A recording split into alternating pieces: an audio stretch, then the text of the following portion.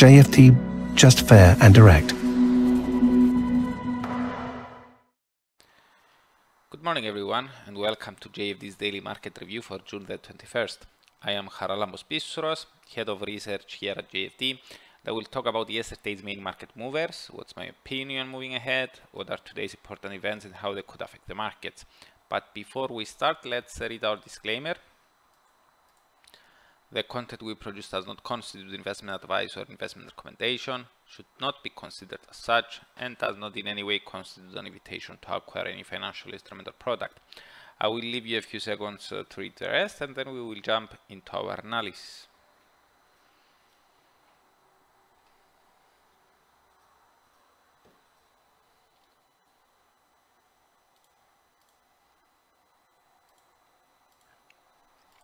Okay, the US dollar traded um, mixed against the other major currencies on Monday and during the Asian session Tuesday. It gained ground versus uh, JPY while it underperformed against CAD, GBP, Aussie and Kiwi in that order. The greenback was found nearly unchanged versus the euro and the Swiss franc. Now, despite the mixed performance of the US dollar, the weakness in the yen and the strengthening of the risk-linked currencies suggest that uh, the financial community may have traded in a risk-on uh, manner yesterday and today in Asia. Indeed, turning our gaze to the equity world, we see that major European shares traded in the green, with uh, France's uh, CAC 40 gaining the list after Emmanuel Macron centrist, after Emmanuel Macron's uh, centrist Ensemble coalition uh, secured the most uh, seats in the, in the National Assembly, uh, but fell well short of securing an absolute majority.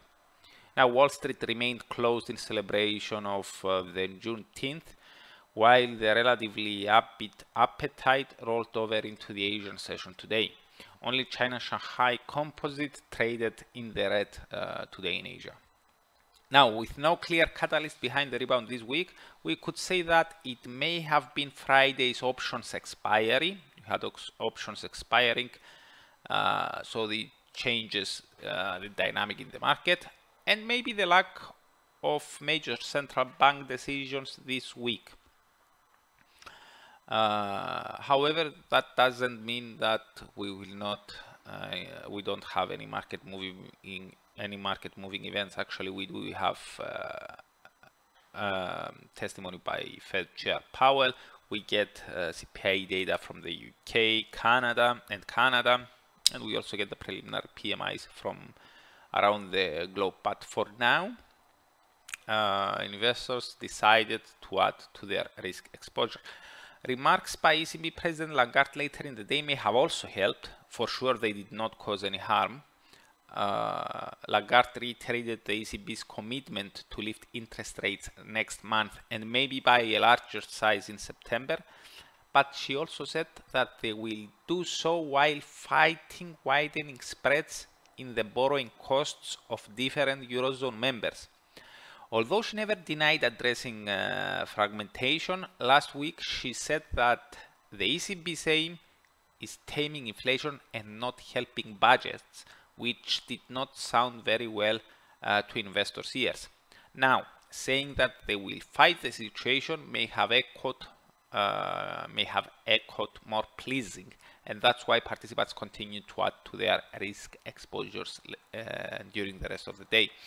However, Lagarde's speech was not the only event we had uh, related to central banking and monetary policy. Then during the Asian session, the RBA released uh, the minutes of its latest gathering with the report confirming that the board agreed uh, that further rate increases would be uh, required.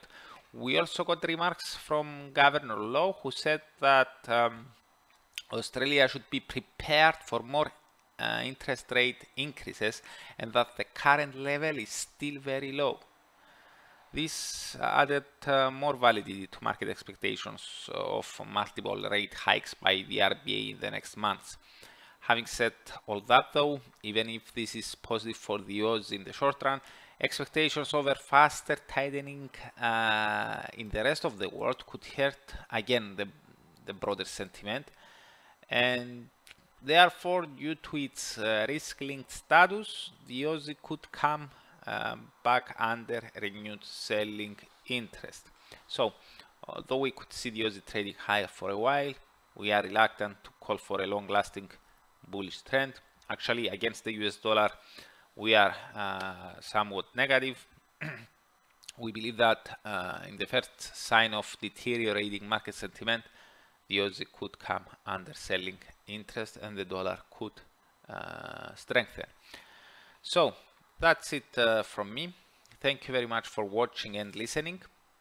For those interested um, uh, in learning about the main events of the week much earlier, you can subscribe uh, to the weekly Market Outlook webinar, which I'm holding every Monday at 7 o'clock a.m. GMT. You can find the link in the description below. So, goodbye, have a great day, and I'm looking forward to seeing you here again tomorrow.